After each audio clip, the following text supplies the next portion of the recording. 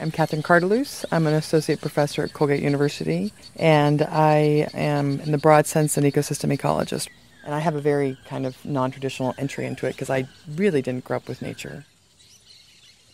There was a graduate student down here on my third day who said, Hey, Kat, I'm going to go climb a tree. You want to come?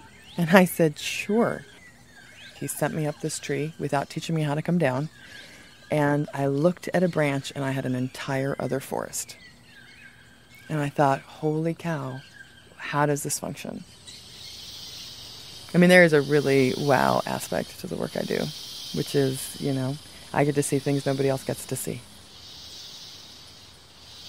I get to wake up every day and think about these plants, which I love. I also, when I'm at Colgate, I think about teaching, which I absolutely love.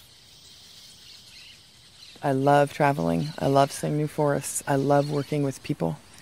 I always have field assistants that are local where they teach me more than I think I teach them and who open up new things for me all the time. They are constantly teaching me.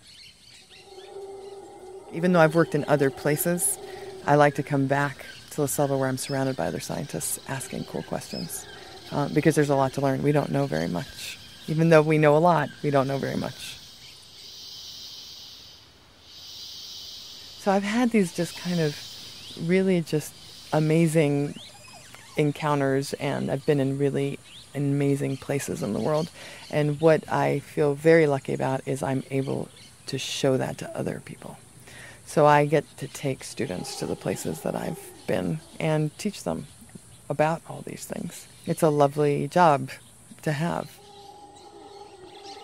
I hope to inspire students to think about how they can help solve the problems that we have created. I guess you have to live knowing that you're not the only person on earth, right? I think that's an important lesson.